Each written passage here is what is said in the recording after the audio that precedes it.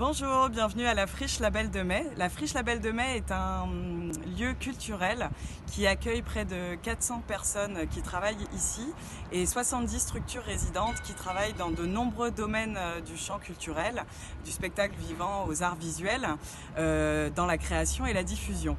Euh, aujourd'hui, la friche s'ouvre encore plus sur le quartier avec la création d'une école et d'un espace public avec le playground et un grand jardin à l'aune de 2020.